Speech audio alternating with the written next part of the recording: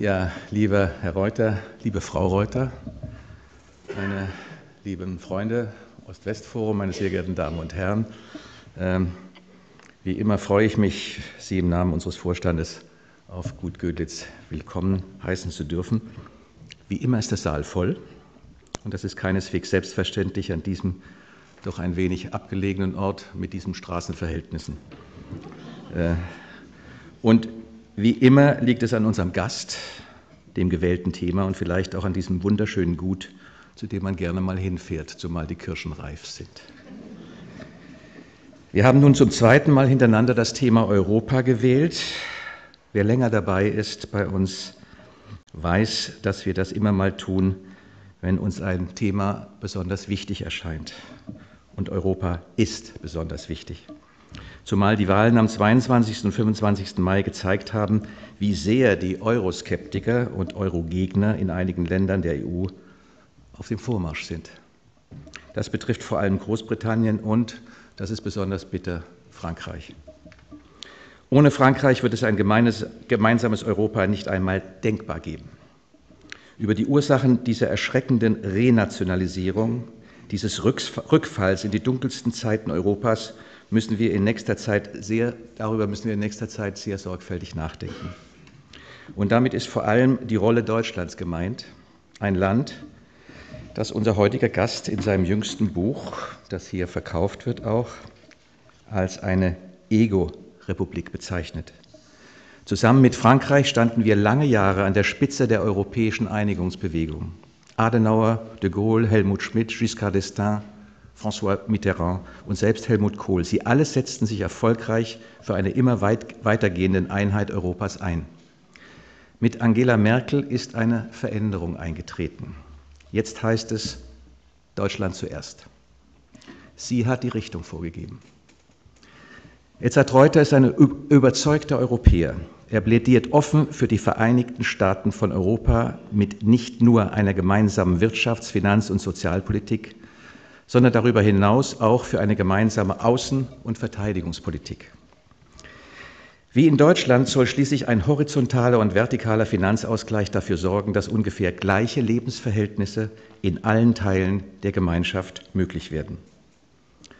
Kein Politiker, auch kein Spitzenmanager würde sich wagen, dies bei den gegenwärtig herrschenden Zeitgeist offen zu sagen. Edzard Reuter ist aus einem anderen Holz geschnitzt. Der 1928 geborene, musste mit seinen Eltern nach der Machtergreifung der Nazis in die Türkei emigrieren. Dort verbrachte er seine Jugendjahre.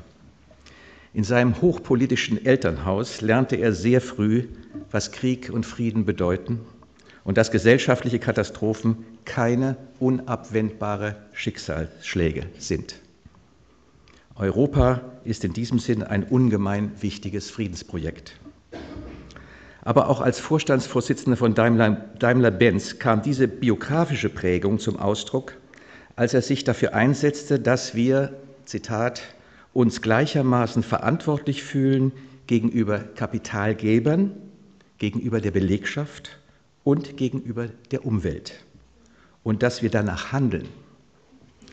Sein Nachfolger Jürgen Schremp änderte diesen bemerkenswerten Kurs sofort, erhöhte auch sein eigenes Gehalt und Boni und gab den Aktionären durch Betonen des Shareholder Value den absoluten Vorzug. Es gäbe noch viel zu Edzard Reuter zu sagen, aber er soll nun selbst zu Wort kommen. Nur noch dieses. Er ist weiterhin Unternehmer, er ist Ehrenbürger Berlins aus eigenem Verdienst und nicht, weil sein Vater der wohl bekannteste regierende Bürgermeister Berlins war. Und zusammen mit seiner Frau Helga gründete er 1995 die Helga und Edzard Reuter Stiftung, deren wichtigstes Ziel es ist, einen Beitrag für das friedliche Zusammenleben von Menschen unterschiedlicher ethnischer, religiöser und kultureller Herkunft in der Bundesrepublik zu leisten und damit die Integration zu fördern. Mit unseren deutsch-türkeistämmigen Biografiegesprächen, die wir nunmehr in 17, äh, äh in 17 Städten der Bundesrepublik durchführen, verfolgt das Ost-West-Forum mit Ihnen gemeinsam das gleiche Ziel. Ich freue mich, Herr Reuter, dass Sie zu uns gekommen sind. Sie sind nach ähm, dem Vorstandsvorsitzenden, ehemaligen Vorstandsvorsitzenden vom BMW, unserem Nachbarn, Herrn von Kuhnheim, der zweite, der hierher gekommen ist und aus der Industrie kommt. Normalerweise kommt niemand aus der Industrie hierher, obwohl ich Sie alle mal eingeladen habe. Vielen Dank, dass Sie gekommen sind.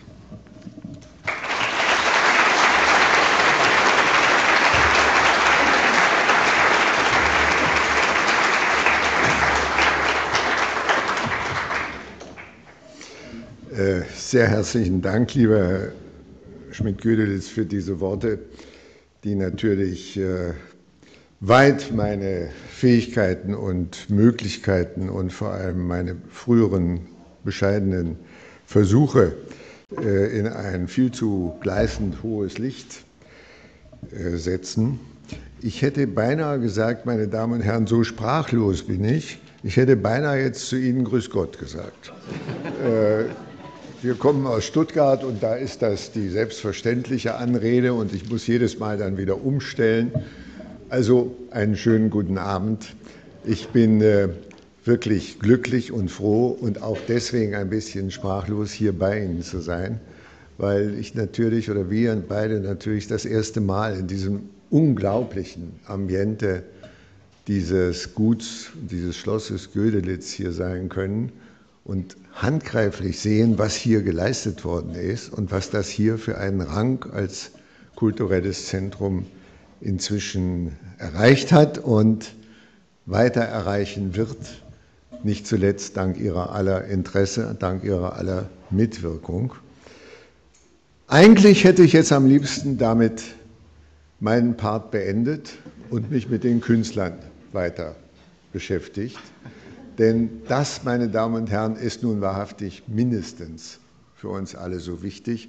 Ich verschweige ganz gerne, aber hier sage ich es mal, dass meine Frau und ich, solange wir zusammen sind, uns intensiv mit moderner, mit heutiger Kunst beschäftigen und einfach vom ersten Anblick von ihren Arbeiten schon fasziniert sind. Aber ein erster Anblick ist noch lange nicht das Vertiefen da rein, was eigentlich nötig wäre. Aber ich muss ja dieser Pflicht genügen und Ihrer Erwartung genügen. Herr Schmidt-Gödelitz hat ja schon angedeutet und gesagt, dass ich Sie ein bisschen, ich vermute mal, provozieren möchte heute Abend mit einer ganz klaren Aussage. Und die möchte ich auch gerne an den Anfang stellen, bevor ich Ihnen ein bisschen aus diesem Buch vorlese.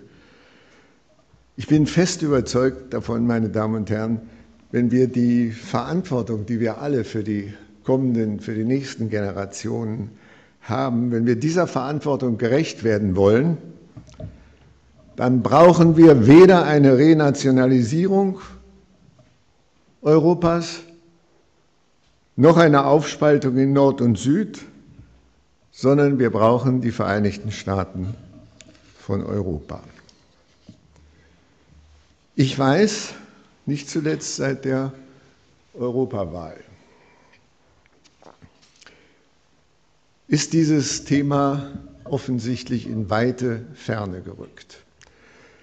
Ich äh, wiederhole noch einmal nur ganz kurz, damit wir alle die Basis gemeinsam haben. Die AfD in Deutschland hat nahezu acht Prozent der Wählerstimmen erreicht.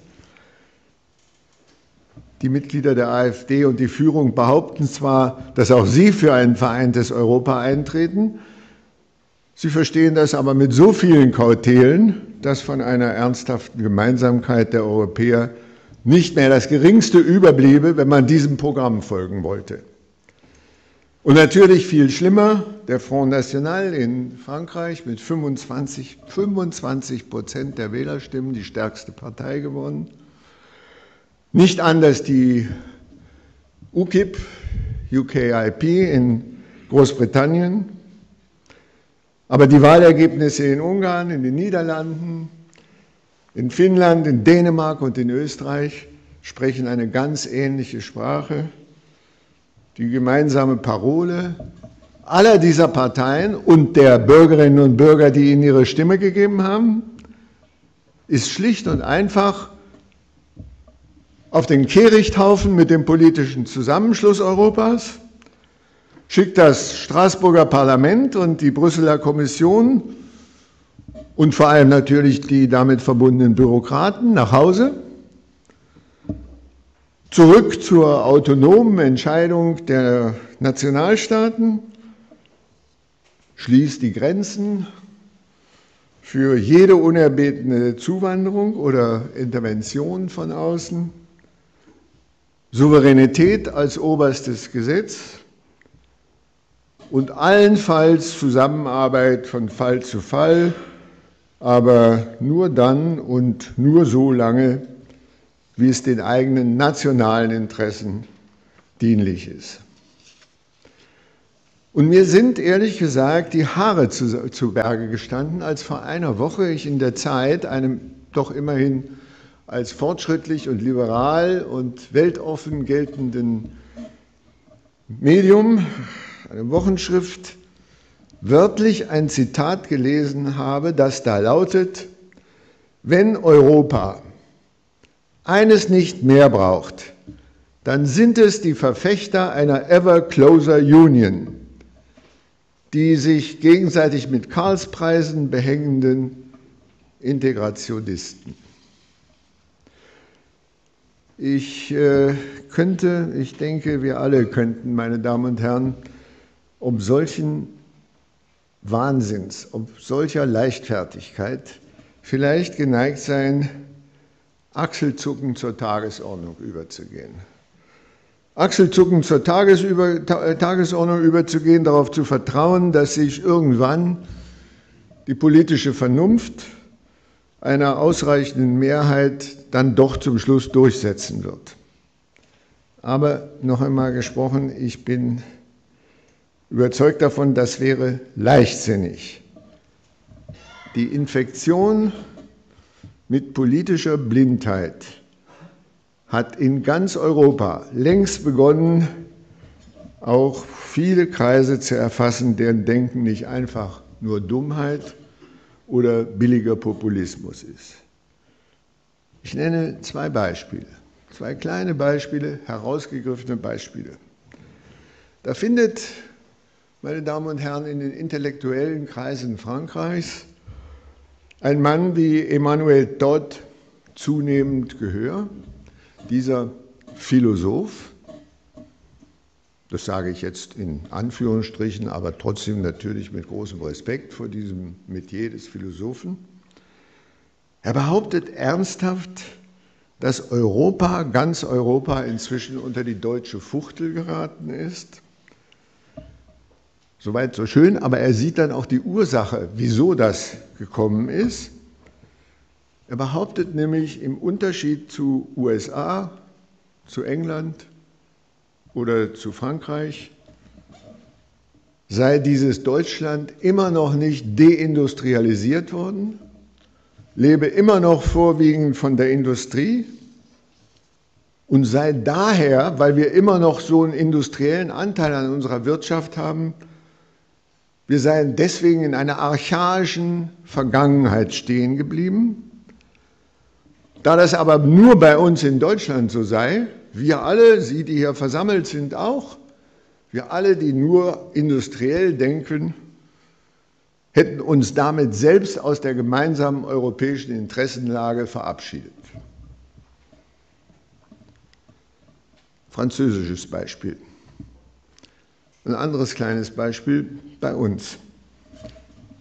Da behauptet ein sehr bekannter wirtschaftspolitischer Kommentator in der Frankfurter Allgemeinen Sonntagszeitung ernsthaft, die moderne Idee der europäischen Vereinigung habe in Wirklichkeit ihre Wurzeln in unserer Nazi-Vergangenheit. Er nimmt Bezug auf die augenblicklichen Ukraine-Problematik auf der einen, den globalen wirtschaftlichen Wettbewerb auf der anderen Seite und zieht Parallelen zu der Zeit, als Europa zu Zeiten des großen Adolf Hitler als Bollwerk gegen den bolschewistischen Osten ebenso wie den, gegen den amerikanischen Kapitalismus propagiert worden sei. und meint, das heutige moderne Europa sei nur eine Wiederbelebung dieses Denkens. Ich wiederhole noch einmal, meine Damen und Herren, man könnte es sich einfach machen und sich auf eine uralte chinesische Weisheit verlassen, wenn man solche Argumente, solche Ausführungen hört. Man könnte die chinesische Weisheit bedenken, es gibt Menschen auf dieser Welt, die Fische fangen und es gibt andere, die nur das Wasser trüben.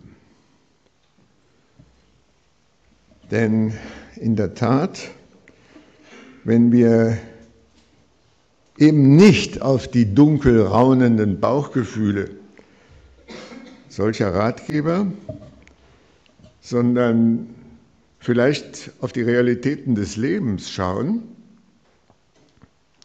dann gibt es genügend Beispiele, die auf der Straße, die auf der Straße liegen, die beweisen, dass alle diese Ratschläge völlig irrealistisch und im Grunde genommen leichtfertig sind. Ich sage nur drei Beispiele auch hier, herausgegriffen aus der Wirtschaft, äh, aus der Gesellschaft und aus der Politik. Wie gesagt, herausgegriffen. Erstens Wirtschaft, die Steuergesetzgebung. Meine Damen und Herren, die Steuergesetzgebung ist im Augenblick noch so geartet innerhalb der Europäischen Union, dass es bisher noch möglich war, dass amerikanische Unternehmen wegen Steuervorteilen in europäischen Staaten Riesenvermögen ansammeln aus ihren Gewinnen, die sie in der, ganzen, in der ganzen Welt gemacht haben, in Europa diese Gelder ansammeln und diese Gelder verwenden, um andere europäische Unternehmen für sich selber aufzukaufen. Das ist eine Folge der zerstückelten und zerfetzten Steuerpolitik innerhalb der Europäischen Union, die nur millimeterweise vorangekommen ist bisher und noch Riesenlücken aufweist. Das andere Beispiel ist schon angesprochen, NSA. Oder nehmen Sie das Google-Urteil, kürzlich ergangen. Das Stichwort Informationskapitalismus. Wir alle können doch wissen, dass nur eine gemeinsame europäische Politik es ermöglichen kann, dass wir nicht einzeln zerstückelt Land für Land der Riesenmacht, Übermacht riesiger Dienstleistungskonzerne aus, dem digitalen, aus der digitalen Welt verfallen.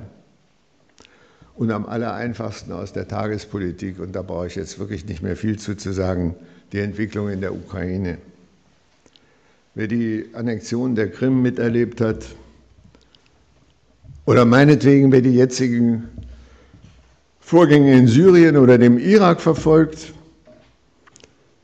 wer die grundlegend veränderte Rolle der Vereinigten Staaten in der Welt nicht begriffen hat, wer meint, dass Deutschland, Frankreich oder Großbritannien, auch nur eines dieser Länder, künftig alleine auf sich gestellt seine wirtschaftlichen Interessen nicht nur gegenüber China, sondern auch gegenüber den USA, Indien oder Brasilien wahren will, meine Damen und Herren, ich kann nur sagen, dem ist nicht zu helfen. Wiederbelebung national, nationalsozialistischer Wahnideen, Bundesrepublik als archaischer Industriestaat, welch ein Hanebüchner Unsinn. Ich darf Ihnen jetzt ein wenig aus dem Buch vorlesen.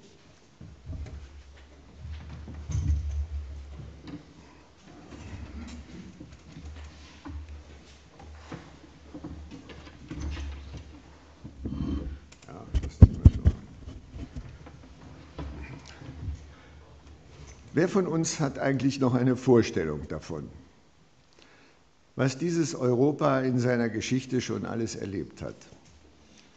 Was seine Bewohner, Frauen wie Männer durchmachen mussten? Das Mikro ist, glaube ich, nicht sonderlich. Kann mal jemand das Mikro lauter stellen?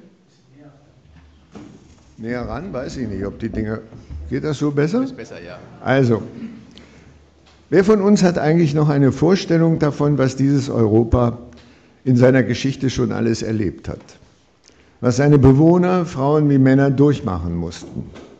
Wie unvorstellbar lange es gedauert hat, bis ihnen endlich klar wurde, dass sie ihre Zukunft nur bestehen können, wenn sie nicht gegeneinander, sondern miteinander handeln. Es reicht schon, wenn wir nur an wenige, fast beliebig herausgegriffene Beispiele seit der Mitte des 19. Jahrhunderts denken. Es war jene Zeit, als der große, den ganzen Kontinent erfassende Umbruch von der landwirtschaftlichen zur industriellen Ära längst im Gange war. Eine Zeit, in der allenthalben in Europa die Menschen begonnen hatten, sich äh, in der Nachfolge der Französischen Revolution gegen die Allmacht der Herrschenden zu wehren und sich freiheitliche, demokratische und rechtsstaatliche Strukturen zu verkämpfen.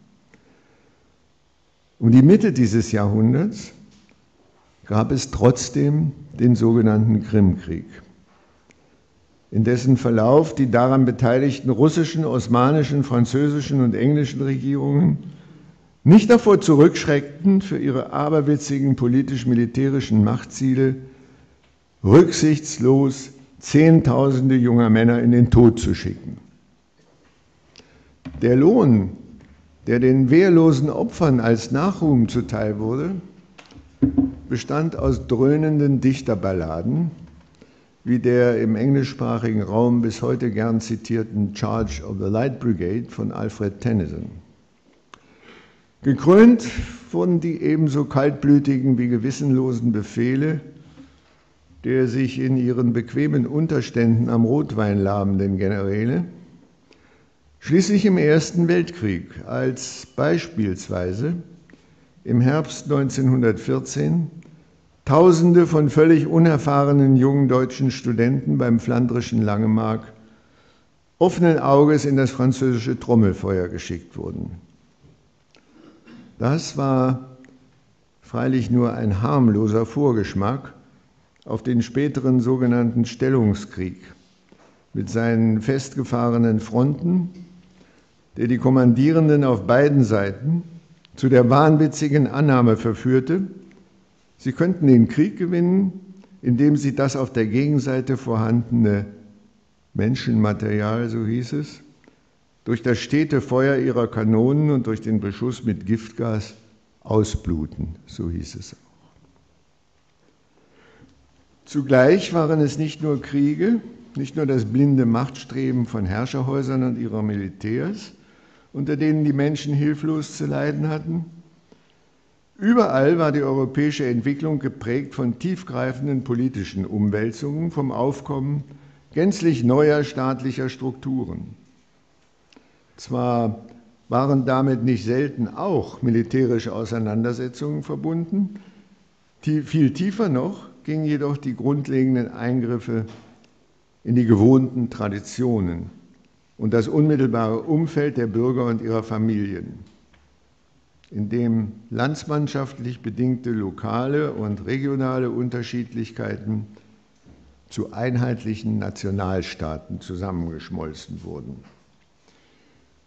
Josef Roth, der ebenso großartige der tragische österreichische Dichter hat sie einmal in seiner unverwechselbar nostalgischen Tonart so beschrieben. In jener Zeit begann jene Nationalitätenfrage heftig zu werden. Alle Leute bekannten sich, ob sie wollten oder so tun mussten, als wollten sie, zu irgendeiner der vielen Nationen, die es auf dem Gebiet der alten Monarchie gab. Man hatte bekanntlich entdeckt, dass jedes Individuum einer bestimmten Nation oder Rasse angehören müsse, wolle es wirklich als bürgerliches Individuum anerkannt werden. Von der Humanität durch Nationalität zur Bestialität, hatte Grillparzer gesagt. Man begann just damals mit der Nationalität, der Vorstufe jener Bestialität, die wir heute erleben. Und all die Menschen, die niemals etwas anderes gewesen waren als Österreicher, in Tarnopol, in Sarajevo, in Wien, in Brünn, in Prag, in Tschernowitz, in Oderburg, in Troppau, niemals anderes als Österreicher. Sie begannen nun, der Forderung der Zeit gehorchend, sich zu polnischen, tschechischen, ukrainischen, deutschen, rumänischen, slowenischen, kroatischen Nationen zu bekennen. Und so weiter. Was verbirgt sich dahinter, wenn, wir, wenn uns immer wieder versichert wird, es gebe aber inzwischen eine gemeinsame europäische Kultur, die in eine gemeinsame europäische Geschichte eingebettet sei. Eine Klammer, die uns bewusst oder unbewusst auch dann miteinander verbinden soll, wenn die oder der Einzelne im täglichen Leben keinerlei konkrete Anzeichen dafür zu erkennen vermag, vielmehr davon überzeugt bleibt, anders zu sein als die anderen.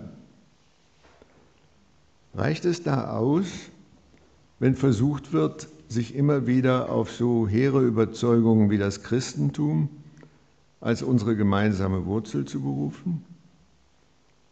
Darauf, dass womöglich alle unsere indogermanischen Sprachen ursprünglich aus Anatolien stammen? Auf die, auf die prägenden Beiträge des Judentums? Auf die Spuren der islamischen Geschichtsperiode in Spanien?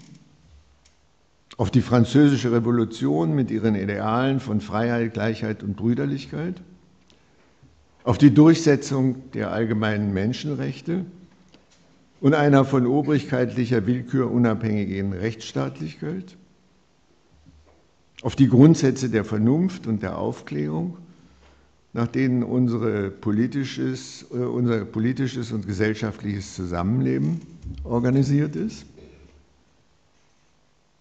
handelt es sich bei alledem womöglich doch nur um die schöngeistige Einbildung abgehobener Eliten? Kann man ernsthaft mit solchen Hinweisen begründen, warum wir unsere nüchternen, nüchternen materiellen Interessen eigentlich auf dem Altar einer sogenannten Vision opfern sollten, die dem Gemeinwohl aller Bürgerinnen und Bürger dienen soll? Die Antwort lautet, ja, man kann. Diese Antwort ist freilich alles andere als selbstverständlich. Sie muss täglich neu begründet werden. Das aber ist eine Sisyphus-Aufgabe. Verdammt dazu, wie der griechische Bruder Leichtfuß den Felsblock, die ihm regelmäßig knapp unter dem Gipfel entgleitet, immer wieder neu den Hang hinaufwälzen zu müssen? Wird niemand, der eine wie auch immer geartete gesellschaftspolitische Verantwortung trägt, an der Aufgabe vorbeikommen, die kulturelle Gemeinsamkeit der Europäer ständig neu in das Bewusstsein unserer Bürgerinnen und Bürger zurückzurufen. Denn so unbezweifelbar es ein solches gemeinsames kulturelles Erbe Europas gibt. So wenig ist dies nun einmal der großen Mehrheit unserer Bevölkerung in ihrem täglichen Leben bewusst. Das schöne Wort von der europäischen Identität, es mag ja sein, dass es in der Welt der abstrakten Begriffe zu Recht irgendwo seinen Platz hat. Im Gefühl der einfachen Menschen wird es bestenfalls gerade noch erahnt. Eine Besonderheit fällt ins Auge, wenn wir danach fragen, warum sich das allgemeine staatsbürgerliche Bewusstsein in den USA eigentlich so deutlich von dem bei uns in Europa unterscheidet. Noch weit mehr als hier setzt sich die dortige Bevölkerung aus einer fast unabsehbaren Vielzahl gänzlich verschiedener Abstammungen und Traditionen zusammen, italienischen, spanischen, französischen, irischen, britischen, deutschen Einwanderern, indianischen Stämmen, zugewanderten Chinesen, Indern, Indonesien, Nachfahren schwarzafrikanischer Sklaven, und neuerdings besonders zahlreiche hispanischen Zuwanderern aus Mexiko. Manche sprechen allenfalls gebrochen Englisch. Viele haben nicht genug zum Leben, wohnen in erbärmlichen Unterkünften, können ihren Kindern keine vernünftige Ausbildung bilden, bieten. Wenn die amerikanische Nationalhymne erklingt, legen sie trotzdem alle miteinander die rechte Hand auf ihr Herz und versuchen den Text mitzusingen, fühlen sich stolz auf ihr gemeinsames Land, the land of the free and the home of the brave. Die Erklärung für diese Eigenheit liegt natürlich auf der Hand, wenn wir einen Blick auf die Geschichte werfen. Sie unterscheidet sich grundlegend von unserer europäischen Geschichte, vor allem insofern, als die Entstehung der Vereinigten Staaten noch nicht einmal 250 Jahre zurückliegt. Die heutigen Europäer hingegen blicken auf, die Vergangen auf eine Vergangenheit zurück, die seit mindestens drei Jahrtausenden andauert. Abgesehen von der brutalen Unterdrückung und der Beraubung der Indianer und dem schrecklichen Bürgerkrieg, der die Nord- und Südstaaten um die Mitte des 19. Jahrhunderts so bitter entzweite, waren die Volksgruppen der USA nie untereinander in kriegerische Auseinandersetzungen verstrickt. Sie durften sich von Anbeginn an als Angehörige einer einzigen Nation fühlen, die alle Freiräume für eine grenzenlose geografische Ausdehnung, für die Mehrung des Wohlstandes und für ein freiheitlich gestaltetes Leben vorfanden. Die USA als God's own country. Das war eine durchaus naheliegende Überzeugung, die sie alle einte. Und wie anders ist es uns Europäern ergangen. Wir haben eben nicht vom ersten Tag unserer Geschichte an als eine Gemeinschaft miteinander gelebt, gelebt, geschweige denn als einheitliche Nation. Für unsere einzelnen Völkerschaften gab es keine gemeinsame Erfahrung, die uns das Gefühl vermittelte, zueinander zu gehören. Im Gegenteil, Kriege, Eroberungen, Völkerwanderungen, Raubzüge prägten über Jahrhunderte unser Erleben. Wir Europäer können auf der anderen Seite auf etwas zurückblicken, was in keiner anderen Region dieser Erde gelungen ist. Es ist die Erkenntnis und die daraus entwickelte grundlegende Überzeugung, dass es ein einziges Rezept, ein einziges Rezept gibt für die grundlegende, für die Durchsetzung der grundlegenden Erkenntnis, dass allein das friedliche und ungestörte Zusammenleben von Menschen und Völkern unterschiedlichen Herkommens und unterschiedlicher Natur auf die Dauer unsere Zukunft sichern kann. Dieses Bewusstsein ist eine Errungenschaft, die als solche nur vor dem Hintergrund der europäischen Geistesgeschichte erklärlich und verständlich ist. Sie drückt sich aus in der Überzeugung, dass der Umgang der Menschen miteinander von aufgeklärter Vernunft geleitet sein muss.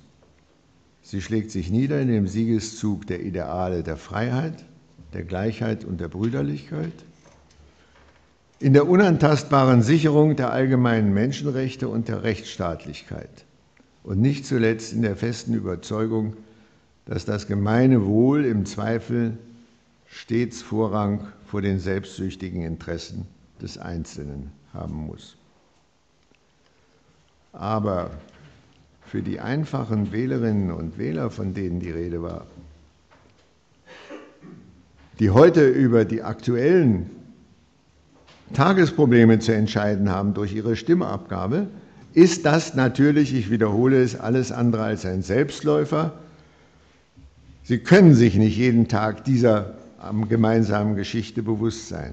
Und Rattenfänger aller Art haben da regelmäßig leichtes Spiel.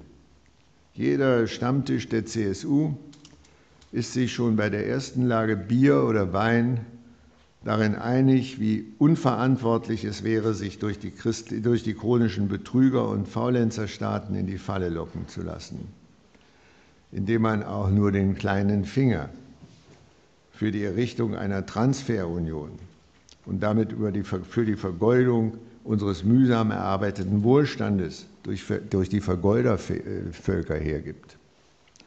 Was zählt da schon der Hinweis auf gemeinsame geschichtliche Errungenschaften und gemeinsame Wertvorstellungen? In der Tat, das Projekt der fortschreitenden Vereinigung Europas mag für die Zukunftssicherung unserer Kinder und Kinder lebenswichtig sein. Es wird scheitern, wenn wir uns als Rettungsanker allein nur darauf verlassen, dass es eine wie auch immer geartete Identität der Europäerinnen und Europäer gibt. Bei allem Respekt,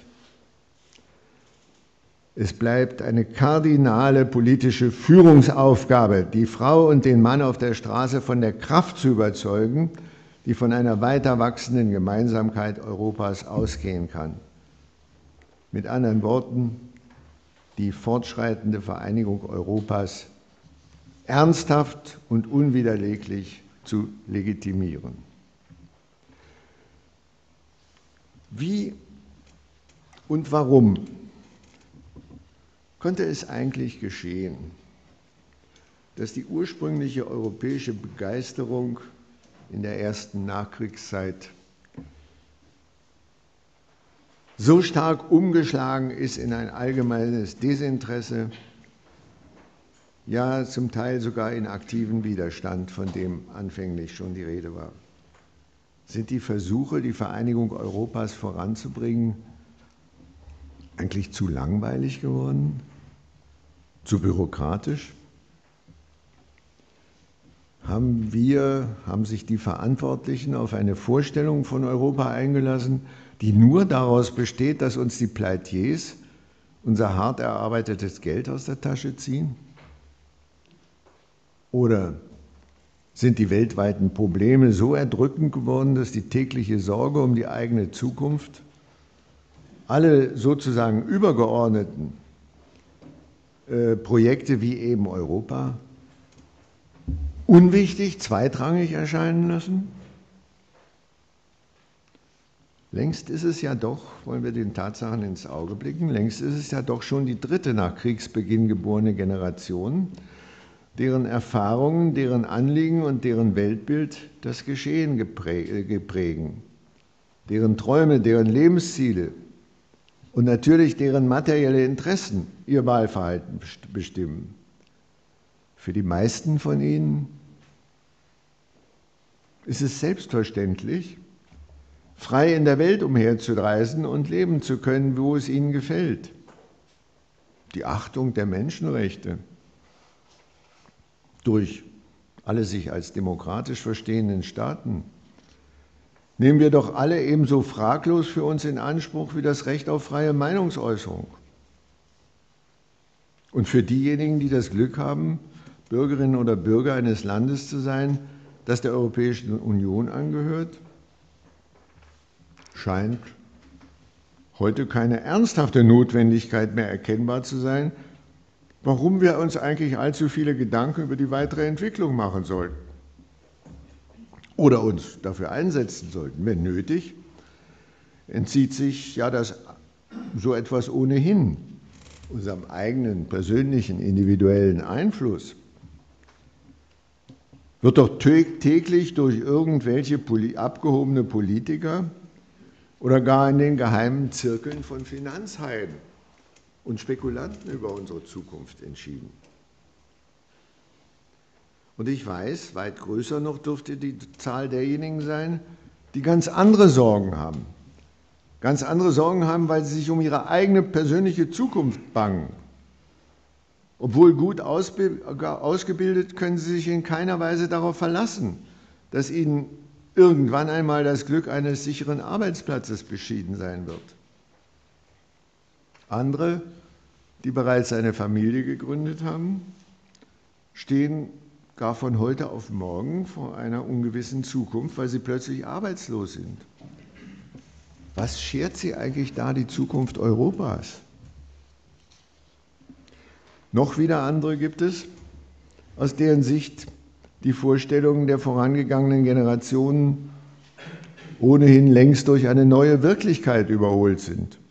Man hat ihnen beigebracht, dass jeder seines Glückes eigener Schmied sei. Sie haben gelernt, dass nur die eigenen Ellenbogen zählen, wenn man ihnen im Leben vorankommen will. Rücksichtnahme auf andere ist da allemal hinderlich. Und ganz besonders gilt das für noch so blumig daherkommende Appelle, die eigenen Interessen zugunsten irgendwelcher scheinbar inhaltslosen Seifenblasen wie des, gemeinsamen, des gemeinen Wohls hintanzustellen. Zugleich gibt es freilich die wachsende Zahl derjenigen, die sich im Sinne des Wortes und der so auflagenstarken Aufforderung von Stefan Hessel empören und dafür auf die Straße gehen. Es sind die jungen Menschen, die über Wochen hinweg die Puerta del Sol in Madrid besetzt gehalten haben, um gegen die Allmacht der Finanzwelt zu protestieren. Es sind die Anhänger der Occupy-Bewegung mit ihrem Aufstand gegen die verachtenswerte Unmoral des Profit- und Bonusdenkens an den Börsen der Welt und in den Managementetagen. Sie alle träumen von einer Gesellschaft, der es gelingt, sich auf allgemein verbindliche Regeln von Moral und Anstand zu besinnen, sind bereit dafür zu kämpfen und Opfer auf sich zu nehmen, aber zugleich haben sie eben jegliches Vertrauen in die bestehenden Parteien und deren führende Persönlichkeiten verloren. Sie alle stimmen darin überein, dass es in der ganzen freiheitlichen Welt neue politische Strukturen geben muss, um mit den Problemen der Gegenwart und Zukunft fertig werden zu können. Begeisterung für gemeinsame Ideale, sie ist bei vielen dieser jungen Menschen mehr als vorhanden. Nicht anders als bei denen, die ursprünglich einmal das Wunder des arabischen Frühlings ausgelöst haben. Aber wieso eigentlich scheinen diese Ideale mit denen von der Vereinigung Europas nichts, nichts mehr zu tun zu haben? Wieso eigentlich gelingt es den politisch Verantwortlichen heutzutage überhaupt nicht mehr, einen Zusammenhang zwischen diesen Vorstellungen einer jungen Generation herzustellen und sie mit der Frage zu verbinden, wie wollen wir eigentlich in Europa gemeinsam leben. Dass es bei bestem Willen keine unwiderleglich genaue Beschreibung dessen gibt, was sich hinter dem Wort Europa verbirgt, schließt in Wirklichkeit nicht aus, dass die überwiegende Mehrheit der hier lebenden Bevölkerung durchaus auch wenn nur mehr oder minder unterschwellig, ahnt und spürt, dass es tatsächlich so etwas wie eine europäische Identität gibt. Ein Bündel von Eigenheiten, die weit mehr beinhalten als eine reine Interessengemeinschaft, die uns vielmehr zutiefst, zutiefst miteinander verbinden. Jacques Delors hat es einmal als die europäische Seele bezeichnet.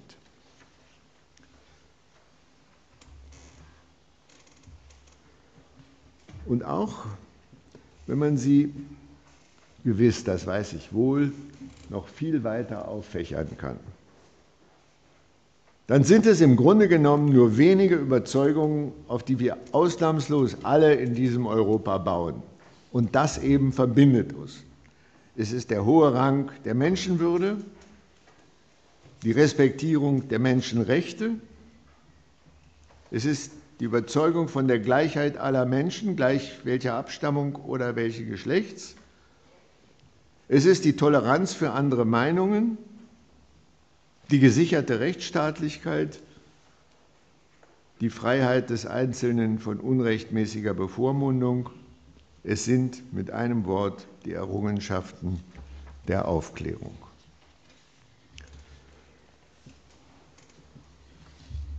Jene weitere politische Vereinigung Europas. Fest steht, fest steht, dass sie etwas fundamental anderes sein muss als das bisherige Europa der Politiker, der Bankiers und der Bürokraten. Andererseits, wer könnte das schon übersehen, mag es eine solche Milchmädchenwahrheit auch ausreichen, um den Stammtischen Argumente für das Gegenteil zu liefern? Als alleinige Begründung für ein Konzept, mit dem die stimmberechtigten Bürgerinnen und Bürger eines nicht allzu fernen Tages erfolgsversprechend um ihre Zustimmung gebeten werden können? Dafür wird es nicht ausreichen, solche Hinweise zu geben. Es sind vielmehr zwei Elemente, zwei Grundsteine, die unverzichtbar sind, auf denen das Projekt eines zukünftigen Europas aufgebaut sein muss. Das Vereinigte Europa muss, wenn es einen solchen Namen verdienen soll, in der Lage sein, die eigenen Interessen im Verhältnis zu jeglichen Gesprächs- und Verhandlungspartnern gemeinsam und ungeteilt zu vertreten. Und es muss zugleich so gestaltet sein, dass als Kraftquelle, Kraftquelle seiner einzigartigen geistigen und technischen Kreativität die eigenständige Vielfalt der Mitgliedsländer ungeschmälert erhalten bleibt. Eine Kombination von zentral zusammengefasster Handlungsunfähigkeit und dezentraler Eigenheit? Kein Zweifel, kein Zweifel, auf Anhieb klingt das mehr als widersprüchlich. Hinzu kommt, dass sich dahinter ein Patentrezept für herrlichsten Populismus verbirgt. Zuerst entdeckt hat dieses Patentrezept vor mehr als 60 Jahren der Staatspräsident des Landes Baden, Leo Wohleb. Er behauptete ernsthaft, dass die Eingliederung seines damals noch selbstständigen Landes Baden in das neue Bundesland Baden-Württemberg das Ende aller Bemühungen um ein vereintes Europa nach sich ziehen werde. Andere wiederum meinen, die Schweiz mit ihrem Zusammenspiel von Kommunen, Kantonen und Bundesrat als Vorbild empfehlen zu sollen, obwohl es gewiss keinen besseren Weg geben könnte, um das Gelingen jeglicher europäischer Gemeinsamkeit in das Reich der Utopie zu verweisen. Beide Argumente machen deutlich, dass es für diejenigen, die mir mit höchster politischer Führungsverantwortung vertrauen, künftig nicht mehr ausreichen kann, weiter nach dem bisherigen Strickmuster zu, ver zu, verfahren. Ein vereintes Europa, das diesen Namen verdienen soll, wird und muss etwas grundlegend anderes sein als das, was sich seine Völker im Verlauf des 19. Jahrhunderts als ihren Nationalstaat erträumt haben. Zugleich wird es aber und muss es aber auch weit mehr sein als nur ein Club von Staats- und Regierungschefs, die meinen, jeweils nach Belieben frei darüber entscheiden zu können, ob die jeweiligen nationalen Eigenheiten durch ihre jeweiligen Beschlüsse gewahrt werden oder beeinträchtigt werden. Nein, davon nicht nur, äh, davon nicht nur eine große Mehrheit der Menschen zu überzeugen, sondern genauso auch rückwärtsgewandte, auf ihre vermeintlich so kostbare Souveränitätsrechte pochende Politiker. Ich weiß, das ist wahrhaft eine Aufgabe, die weit mehr erfordert als die ohnehin schon aufreibende Last, mit der europäischen Schuldenkrise fertig zu werden.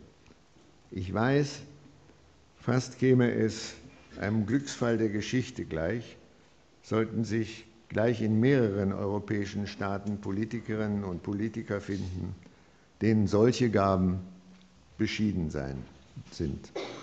Und doch, und doch hat es vergleichbare Konstellationen in der europäischen Nach Nachkriegszeit tatsächlich gegeben. Noch einmal die Vereinigten Staaten. E pluribus unum. Aus den vielen das eine. So lautet der Sinnspruch im Staatswappen der Vereinigten Staaten von Amerika. Und um zu verstehen, wie sehr das gesamte politische Geschehen des bei weitem mächtigsten Staat der Erde bis heute durch diesen Grundsatz e pluribus unum geprägt ist, genügt schon ein winziger Blick in die Entstehungsgeschichte. Nach der 19, 1776 gemeinsam durch die 13 voneinander völlig unabhängigen Gründungsstaaten erklärten Loslösung von ihrem Mutterland England, der berühmten Declaration of Independence, entwickelte sich zwischen diesen 13 Staaten eine jahrelange Auseinandersetzung über die Grundzüge einer Verfassung für die angestrebte politische Vereinigung. Kontrahenten waren die sogenannten Federalists, die eine weitgehend zentralisierte Staatsstruktur anstrebten und die sich damals als Democratic Republicans bezeichneten, Anhänger einer möglichst zentralen Funktion eines Bundesstaates und der Gegner, die die gesamten Rechte bei den einzelnen Staaten lassen wollten. Der Kompromiss, der schließlich immerhin erst 1787, also so viele Jahre danach, nach der Unabhängigkeitserklärung, in einer Verfassung, die bis heute gültig ist, niederschlug, beruhte auf einem sorgfältig ausgewogenen System von gegenseitigen Kontrollen zwischen den Mitgliedstaaten der, Union. Dazu zählte heute im Übrigen kaum noch bekannt, aber bis heute Realität, die doppelte Staatsbürgerschaft, sowohl im Heimatstaat als auch im Bundesstaat. Bis heute ist das gültig. Amerikaner sind zugleich Bürger von Virginia und der Vereinigten Staaten.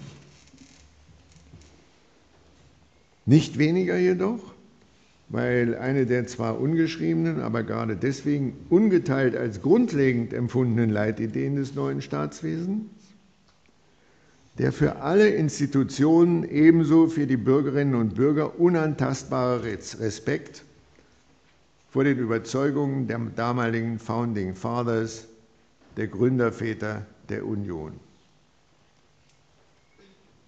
Die Versuchung ist nahezu unwiderstehlich, vor einem solchen Hintergrund Parallelen zu der Situation zu ziehen, vor der wir heute in Europa stehen, dem Fehlen von Founding Fathers. Aus diesem Dilemma gibt es nur einen Ausweg. Ihn zu beschreiben ist, äh, zu beschreiten ist dringlicher denn je. In der Tat, es ist allerhöchste Zeit, das Ziel, um das es geht, endlich wieder mit einer Klarheit, einer Glaubwürdigkeit und einer Überzeugungskraft zu vertreten, die man heute gerne als Empathie bezeichnen würde. Die Wiedergeburt einer Vision für Europa einer Vision, die tatsächlich einen solchen Namen verdient, kann aber nur lauten, die Vereinigten Staaten von Europa, nicht als billige Kopie der Vereinigten Staaten von Amerika, sondern als ein neuer, junger, stolzer und selbstbewusster Weg in eine erfolgreiche Zukunft. In diesem Sinne hat Ulrich Beck, der brillante Soziologe, von einem kosmopolitischen Europa gesprochen und mahnend hinzugefügt, wo bleibt der europäische Willy Brandt? Vereinigte Staaten von Europa. Ich weiß wohl, dass ich spätestens an dieser Stelle bezichtigt werde, tollkühnen Illusionen nachzuhängen. Die einen sind schnell mit dem Totschlagsargument zur Hand, dass sich dahinter nichts als die Absicht verberge, den unersättlichen bürokratischen Moloch namens Brüssel zulasten der regionalen Eigenständigkeit mit uferloser Befehlsgewalt auszustatten. Die anderen halten es für grob leichtfertig, durch die Verwendung eines Begriffs, der natürlich unvermeidlich zu Fehldeutungen über seinen Inhalt führen muss, das eigentliche Projekt der europäischen Vereinigung in Misskredit zu bringen. Dabei wird zwar der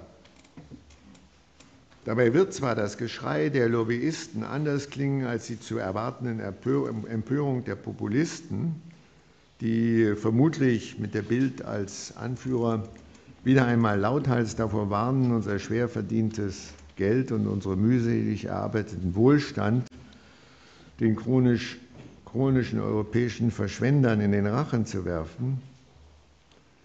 Auch im Zusammenhang mit solchen unvermeidlichen Auseinandersetzungen weist allerdings auch insofern die amerikanische Geschichte eindrücklich darauf hin, was politischer Mut und was Führungsfähigkeit bewirken können.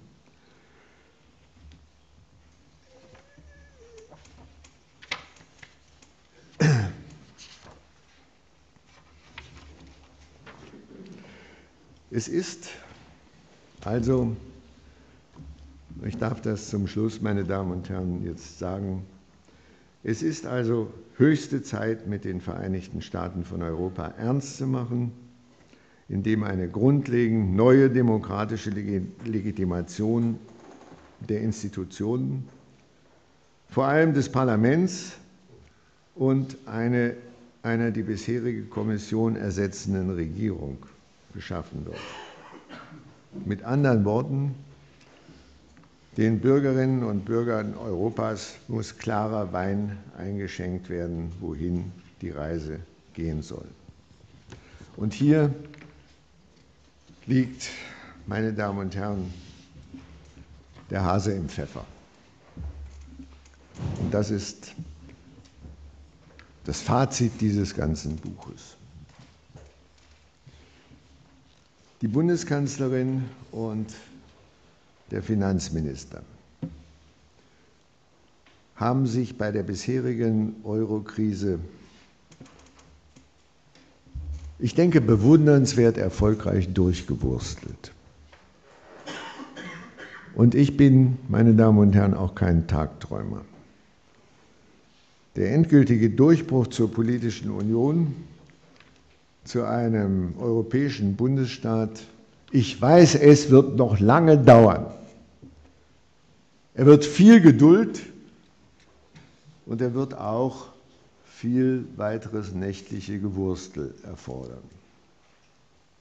Wir erleben das jetzt gerade, Beispiel der Designierung eines Präsidenten der Europäischen Kommission, des Tauziehens darum.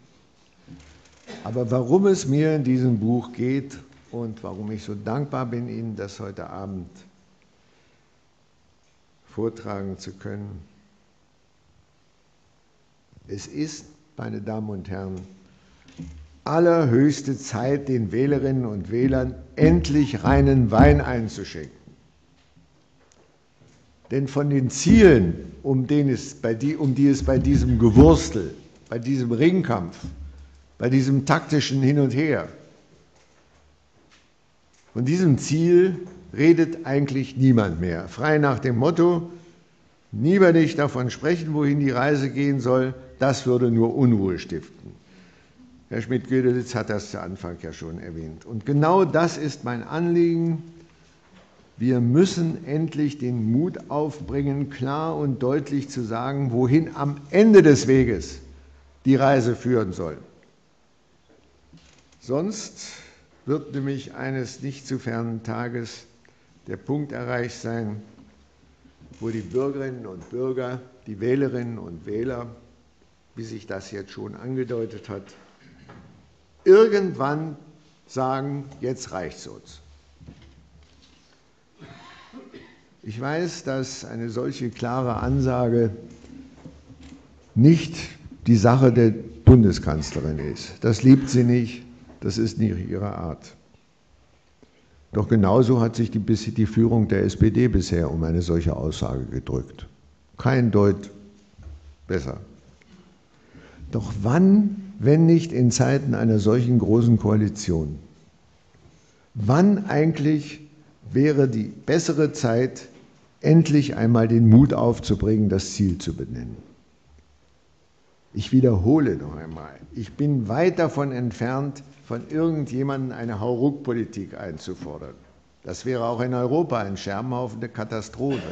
Natürlich geht es um weise Führungskunst. Deutschland ist nicht der Lehrmeister Europas. Und in vielen anderen Mitgliedsländern, ich brauche ja nur Frankreich zu erwähnen, die derzeitige Situation in Frankreich, gibt es grundlegende Widerstände, von Großbritannien ganz zu schweigen. Es geht also nicht darum, morgen äh, in ein neu gewähltes Europaparlament oder in den Rat der Staats- und Regierungschefs einen Verfassungsentwurf für eine Vereinigten Staaten von Europa einzubringen. Wohl aber geht es uns allen gegenüber, als Trägerinnen der Träger der Demokratie bei uns.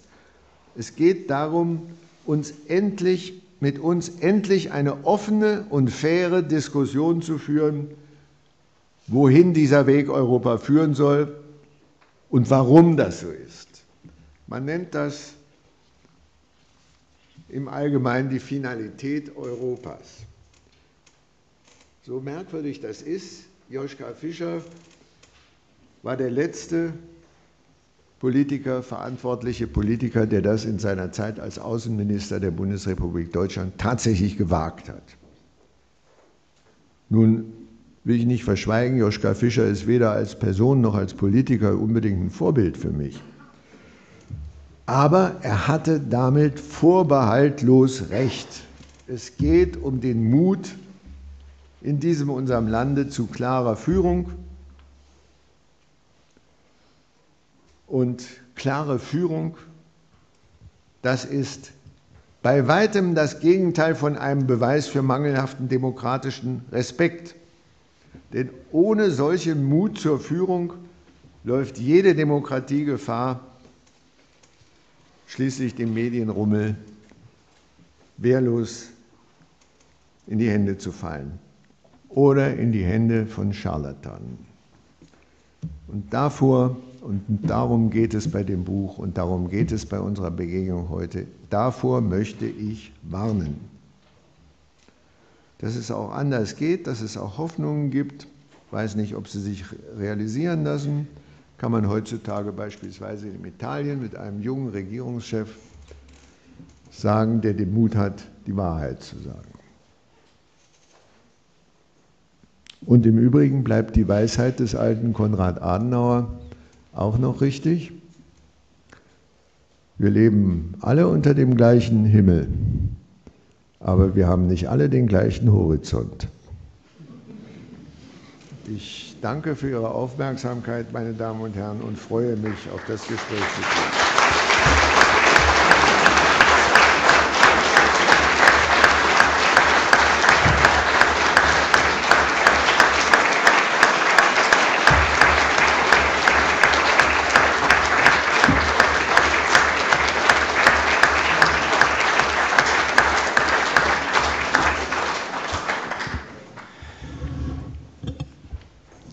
Vielen Dank, Herr Reuter. Ähm, ich freue mich einfach, dass es Menschen gibt, die diesen Lebenslauf haben und nicht irgendwo aus einer stillen Kammer kommen, sondern auch mal ein Weltunternehmen geführt haben, die aber gleichzeitig wirklich Pro-Europäer sind und wissen, warum sie Pro-Europäer sind. Und ich habe und teile mit Ihnen den Eindruck, es ist ein großes Projekt, was unser Schicksal in den nächsten Jahrzehnten bestimmen wird. Leider Gottes haben wir zu kleine Politiker, die dieses Projekt in die Hand bekommen haben. Äh, es gab mal die Großen, aber die Großen haben wohl angesichts dessen, was sie im Zweiten Weltkrieg erlebt haben, tatsächlich einen anderen Horizont gehabt. Sie hatten andere Erinnerungen und sie wussten, um was es geht. Und ich erinnere an das, was ich das letzte Mal bei Frau Schwan auch gesagt habe. Ähm, Churchill 1947 in der Schweiz richtete eine Rede an seine französischen Kameraden, Kriegskameraden und sagte, ihr müsst das vereinte Europa zusammenbauen. Ihr müsst das, was gewesen ist, vergessen. Er sagte zwar auch, wir gehören nicht dazu, wir haben unseren Commonwealth, aber dieser Mann sagte das, von dem er glaubte, dass das die Konsequenz dessen ist, was sie nun an Furchtbaren erlebt haben.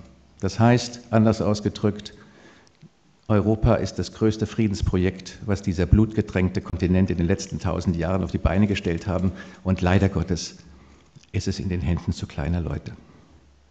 Ähm, vielleicht schaffen wir es mal, ähm, indem wir äh, diese ganzen äh, Politiker aus Bayern und wo auch immer, die diese einfachen Botschaften verkünden, einfach das mal auf die Seite schieben. Aber wir haben auch gelernt heute Abend, und das ist auch in diesem Buch, das ist nicht ganz einfach, das Ganze. Das ist kompliziert, das ist äh, äh mit vielen, vielen Mauern um, um, umgeben.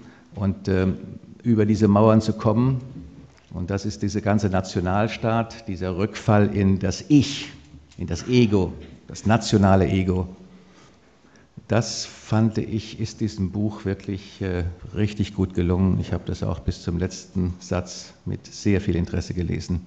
Und wir gehen jetzt über zur Diskussion.